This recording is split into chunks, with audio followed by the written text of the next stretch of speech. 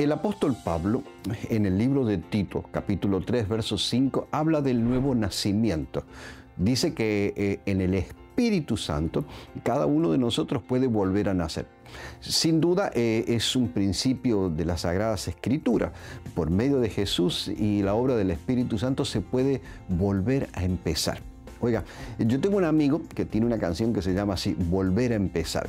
Eh, lo hemos hecho muchas veces en las campañas evangelísticas. Yo le decía, esa, esa me la deja Felipe para el final, volver a empezar. Y cuando hacíamos el llamado, mucha gente venía. ¿Por qué? Porque todos anhelamos volver a empezar. Quizás usted me escucha en este momento y dice, pastor, fallé un matrimonio, fallé como mamá, fallé como papá, fallé en mis negocios. Es imposible volver a empezar.